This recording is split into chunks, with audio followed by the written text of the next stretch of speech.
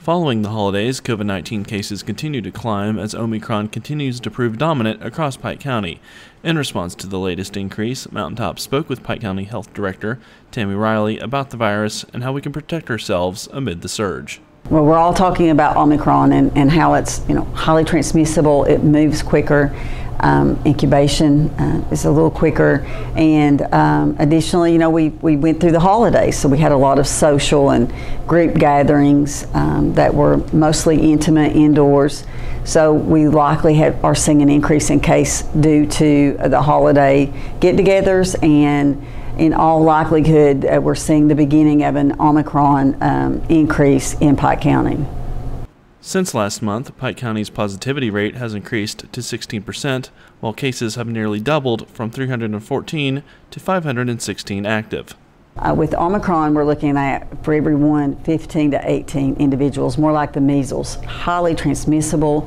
Uh, but what experts um, are relaying to public health um, in the state, in the country, and I'm even hearing here locally, is that children or younger individuals are getting slightly more ill than they did with Delta and Alpha.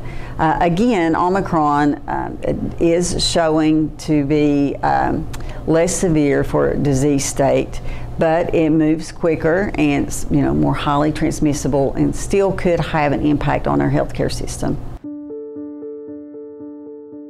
In 2012, eastern Kentucky was devastated by tornadoes. Within days, people in western Kentucky stepped up to help the people of our region.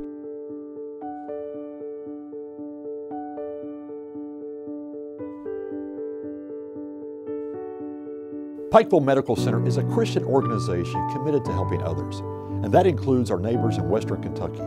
Our commitment goes far beyond those who come to our hospital for treatment. That sentiment is echoed from all of us at Double Quick.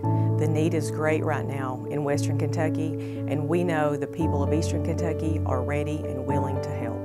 During this season of giving, please consider donating to those who have found themselves with nothing just days before Christmas.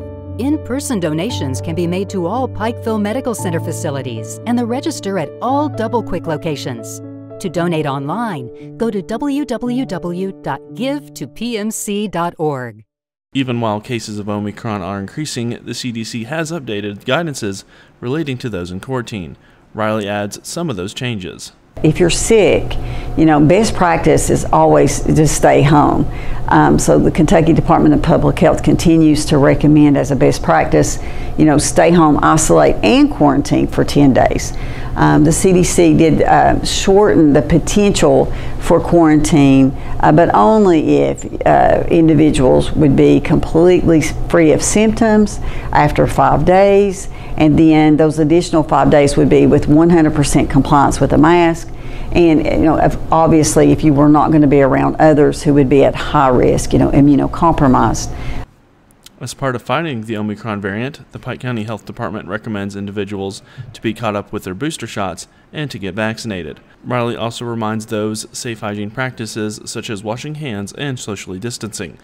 To get a booster or to get vaccinated, you can call the Pike County Health Department at 606 437 5500.